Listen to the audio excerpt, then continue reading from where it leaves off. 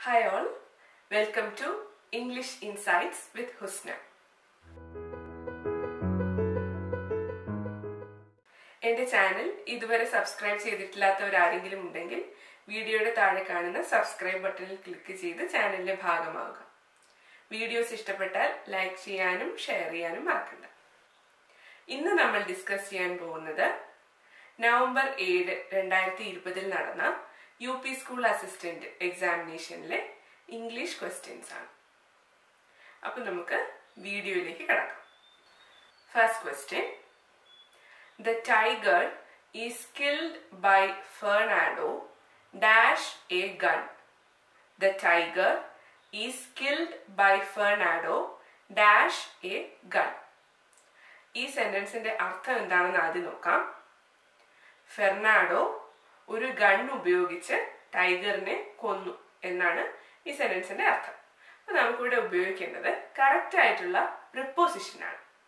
ഇവിടെ നമുക്ക് ഉപയോഗിക്കാൻ പറ്റുന്ന ഏറ്റവും ആപ്റ്റ് ആയിട്ടുള്ള പ്രിപ്പോസിഷൻ എന്ന് പറയുന്നത് വിത്ത് ആണ്. W I T H with so complete sentence എന്ന് പറയുന്നത് the tiger is killed by Fernando with a gun എന്നുള്ളതാണ്.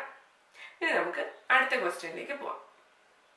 A person who does wrong and unlawful is a person who does wrong and unlawful is one word സബ്സ്റ്റിറ്റ്യൂഷനിൽ നിന്ന് വന്നിരിക്കുന്ന ഒരു question ആണ്. ഇതിന്റെ options നമുക്ക് നോക്കാം. Option A philatelist option B pedantic option C native option D miscreant options ഞാൻ ഒന്നുകൂടെ പറയാം. Option A philatelist option B pedantic option C native option D miscreant ഇതിലെ കറക്റ്റ് ആയിട്ടുള്ള ആൻസർ എന്ന് പറയുന്നത് ഓപ്ഷൻ ഡി മിസ്ക്രിയന്റ് ആണ്. M I S C R E A N T miscreant miscreant means a person who does wrong and unlawful എന്തെങ്കിലും തെറ്റോ അല്ലെങ്കിൽ നിയമവിരുദ്ധമോ ആയ കാര്യങ്ങൾ ചെയ്യുന്ന ആളിനെയാണ് മിസ്ക്രിയന്റ് എന്ന് പറയുന്നത്. ഇനി നമുക്ക് മറ്റ് വാക്കുകൾ എന്തൊക്കെയാണെന്ന് നോക്കാം. Philatelist philatelist is a person who collects stamps stamp collect ചെയ്യുന്ന ആളിനെയാണ് ഫിലാറ്റലിസ്റ്റ് എന്ന് പറയുന്നത്. പെഡാന്റിക് എന്ന വാക്കിന്റെ അർത്ഥം എന്താണ്? വിദ്യാഭ്യാസം ഉണ്ടെന്ന് നാട്യം നടിക്കുന്ന ആൾ അല്ലെങ്കിൽ വിദ്യാഭ്യാസം ഉണ്ടെന്ന് പൊങ്ങച്ചം നടിക്കുന്ന ആളിനെയാണ് പെഡാന്റിക് എന്ന് പറയുന്നത്. ഓപ്ഷൻ സി നേറ്റീവിന്റെ അർത്ഥം എല്ലാവർക്കും അറിയാം. സ്വദേശി എന്നാണ് അർത്ഥം. ഓക്കെ. അപ്പൊ നമ്മുടെ ഓപ്ഷൻ ഡി മിസ്ക്രിയന്റ് ആണ് ഇവിടുത്തെ റൈറ്റ് ആൻസർ. ഇനി നമുക്ക് അടുത്ത ക്വസ്റ്റ്യനിലേക്ക് പോവാം. If you dash the work you can go if you dash the work you can go conditional സെന്റൻസിൽ നിന്നുള്ള ഒരു ക്വസ്റ്റ്യൻ ആണിത്.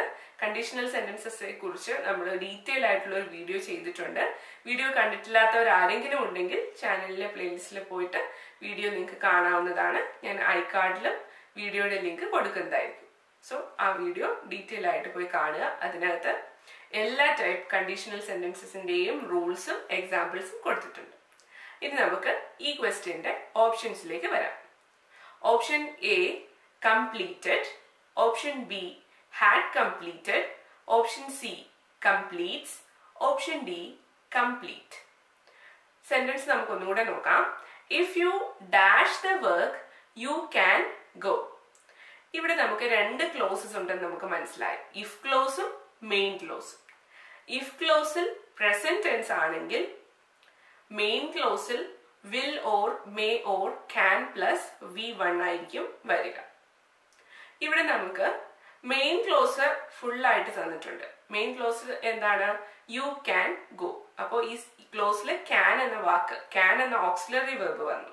അതുകൊണ്ട് തന്നെ ഇഫ് ക്ലോസിൽ നമ്മൾ പ്രസന്റ് ടെൻസ് ആയിരിക്കും യൂസ് ചെയ്യുക അപ്പൊ നമുക്ക് യൂസ് ചെയ്യാൻ പറ്റുന്ന രണ്ട് വേർബ്സ് ഇവിടെ രണ്ട് വേർബ് ഫോംസ് ഇവിടെ തന്നിട്ടുണ്ട്. Option C completes option D complete ഇനി ഈ രണ്ട് ഓപ്ഷനിൽ നിന്ന് നമുക്ക് തിരഞ്ഞെടുക്കണം. ഇവിടെ യു എന്ന സബ്ജക്റ്റ് ആണ് വന്നിരിക്കുന്നത്. യു എന്നത് ഒരു പ്ലൂറൽ പ്രോനൗൺ ആയതുകൊണ്ട് നമുക്ക് do form of the verb ആണ് യൂസ് ചെയ്യേണ്ടത്. സോ ഓപ്ഷൻ ഡി കംപ്ലീറ്റ് ആണ് റൈറ്റ് ആൻസർ ഇനി നമുക്ക് ആ സെന്റൻസ് മുഴുവനായിട്ടൊന്ന് പറഞ്ഞു നോക്കാം. If you complete the work you can go അത് കണ്ടീഷണൽ സെന്റൻസ് എന്നുള്ളൊരു ക്വസ്റ്റ്യൻ ആയിരുന്നു. ഇനി നമുക്ക് മറ്റൊരു ക്വസ്റ്റ്യൻ നോക്കാം. They will have to dash if they want to catch the train ഞാൻ സെന്റൻസ് ഒന്നുകൂടി പറയാം. They will have to dash if they want to catch the train options നോക്കാം.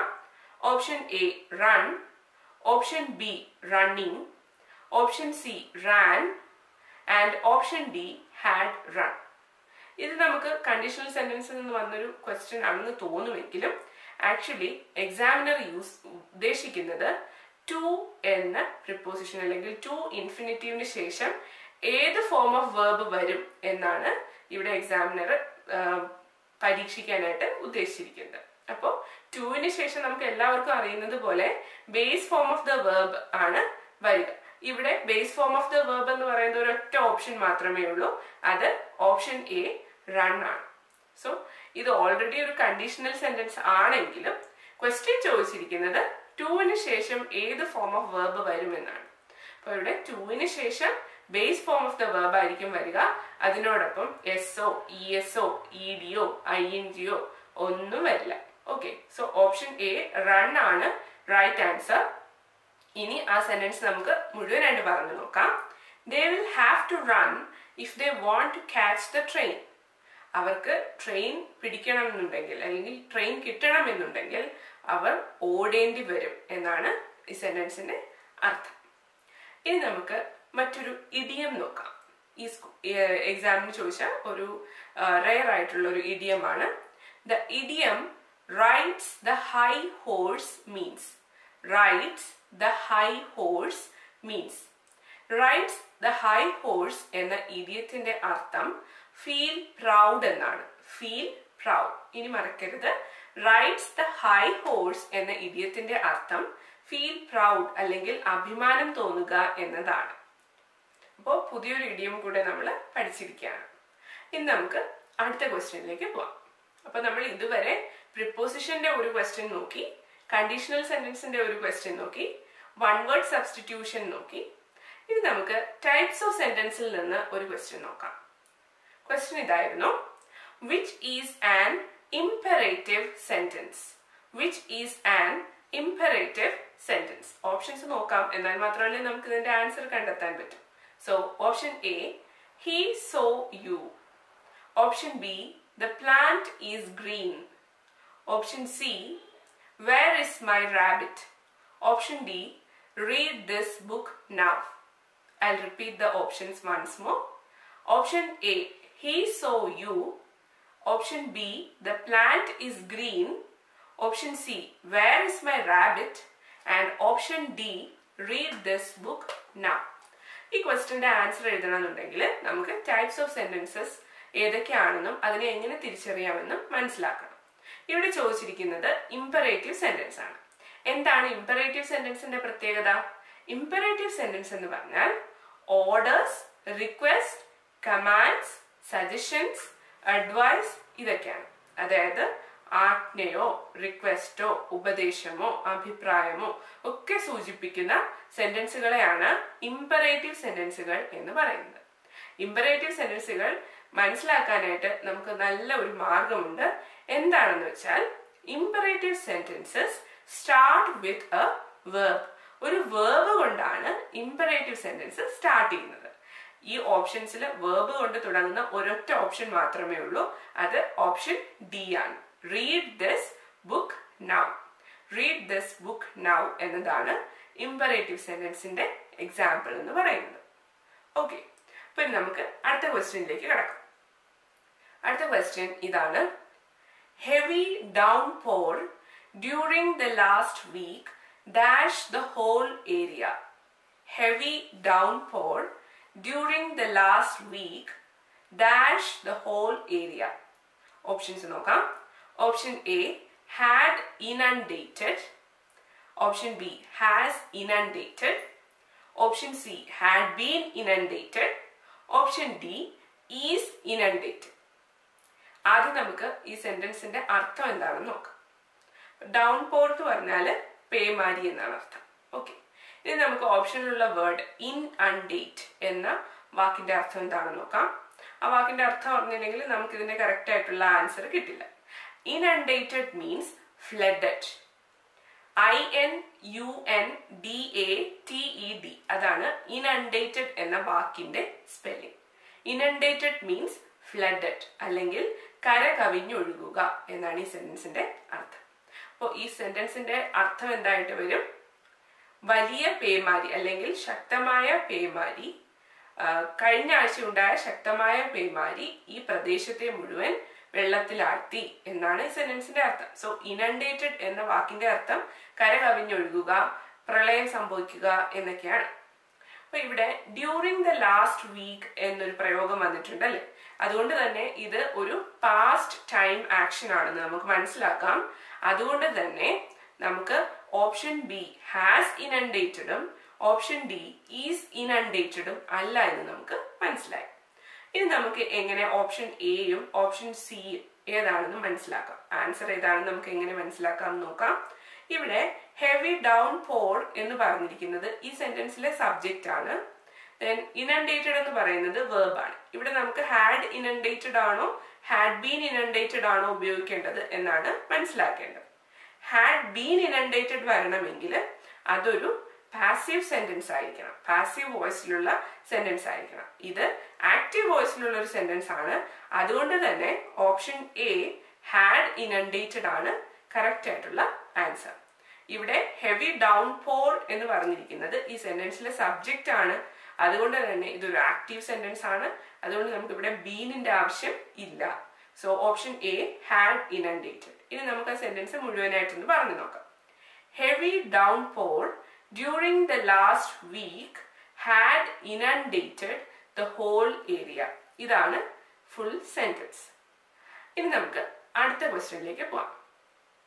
Dash in the afternoon is not healthy at all dash in the afternoon is not healthy at all option A slept option B sleeping option C sleeps option D none of the above sentence ഞാൻ ഒന്നുകൂടെ പറയാം. Dash in the afternoon is not healthy at all option A slept option B sleeping option C sleeps option D none of the above ഈ sentence നമുക്ക് നോക്കാം. ഈ സെന്റൻസിൽ എന്താണ് അർത്ഥം? Dash in the afternoon is not healthy at all ഇവിടെ sleep എന്ന് പറഞ്ഞ വാക്കാണ് ഇവിടെ വരേണ്ടത് അല്ലേ? അതുമായിട്ട് ബന്ധപ്പെട്ട ഒരു വാക്കാണ് വരേണ്ടത് അതായത് ഉച്ചയുറക്കം ആരോഗ്യത്തിന് ഒരിക്കലും നല്ലതല്ല എന്നാണ് ഈ സെന്റൻസിന്റെ അർത്ഥം. അപ്പൊ ഇത് സ്ലീപ്പ് എന്ന വേർഡ് അത് ഏത് ഫോമിൽ വന്നാലും അത് എന്തായിരിക്കണം? ആ സെന്റൻസിലെ സബ്ജക്റ്റ് ആയിരിക്കണം. ഇവിടെ നമുക്ക് നൗൺ ഇല്ല. ഓക്കെ നമ്മുടെ ഓപ്ഷൻസ് നോക്കുമ്പോൾ മനസ്സിലാവും. സ്ലെപ്റ്റ് സ്ലീപ്പിംഗ് സ്ലീപ്സ് ഇതൊന്നും എന്താണ്? എക്സാക്ട് നൗൺസ് അല്ല. പക്ഷേ നൗൺ ആയിട്ട് പ്രവർത്തിക്കുന്ന ഒരു വാക്ക് ഈ കൂട്ടത്തിലുണ്ട്. അതാണ് ഓപ്ഷൻ ബി സ്ലീപ്പിംഗ് സ്ലീപ്പിംഗ് എന്ന നൗൺ എങ്ങനെയാണ് ഉണ്ടായത്? സ്ലീപ്പ് എന്ന വേർബിനോടൊപ്പം ഐ എൻ ജി കൂടെ ചേർക്കുമ്പോഴാണ് സ്ലീപ്പിംഗ് എന്ന നൗൺ ഉണ്ടായത്. ഇവിടെ സ്ലീപ്പിംഗ് എന്ന വാക്ക് സബ്ജക്റ്റിന്റെ സ്ഥാനത്ത് വരുന്നത് കൊണ്ട് സ്ലീപ്പിംഗ് എന്നതൊരു ജെറണ്ട് ആണ്. ഞാൻ ഒന്നുകൂടെ പറയാം. ഈ സെന്റൻസിൽ ആക്ച്വലി വരേണ്ടിയിരുന്നത് ഒരു നൗൺ അല്ലെങ്കിൽ ഒരു സബ്ജക്റ്റ് ആണ് വരേണ്ടിയിരുന്നത്. നമ്മുടെ ഓപ്ഷൻസിൽ ഒരു എക്സാക്ട് നൗൺ ഇല്ല. അപ്പോൾ നൗൺ ആയിട്ട് ഫങ്ഷൻ ചെയ്യുന്ന മറ്റൊരു വാക്ക് നമുക്ക് വേണം. അത് ഒരേ ഒരു വാക്ക് മാത്രമാണ്. അത് ഓപ്ഷൻ ബി സ്ലീപ്പിംഗ് ആണ്. സ്ലീപ്പിംഗ് എന്ന വാക്കിന്റെ അർത്ഥം ഉറക്കം എന്നാണ്. സ്ലീപ്പിംഗ് എന്ന നൗൺ അല്ലെങ്കിൽ സ്ലീപ്പിംഗ് എന്ന സബ്ജക്റ്റ് എങ്ങനെയാണ് ഉണ്ടായതെന്ന് വെച്ചാൽ സ്ലീപ്പ് എന്ന വേർബിനോടൊപ്പം ഐ എൻ ജി ചേർത്തപ്പോഴാണ് സ്ലീപ്പിംഗ് എന്ന നൗൺ ഉണ്ടായത്. ഈ സ്ലീപ്പിംഗ് എന്ന നൗൺ സബ്ജക്റ്റിന്റെ സ്ഥാനത്ത് വരുമ്പോഴാണ് നമ്മൾ അതിനെ ജെറണ്ട് എന്ന് വിളിക്കുന്നത്. ജെറൻസ് പാർട്ടിസിപ്പൽസ് ഇൻഫിനിറ്റീവ്സ് ഈ മൂന്ന് കാര്യങ്ങളെ കുറിച്ചുമുള്ള ഡീറ്റെയിൽഡ് വീഡിയോ ചാനലിലുണ്ട് കാണാത്തവരാരെങ്കിലും ഉണ്ടെങ്കിൽ ആ വീഡിയോ നിങ്ങൾ പോയി കാണേണ്ടതാണ്.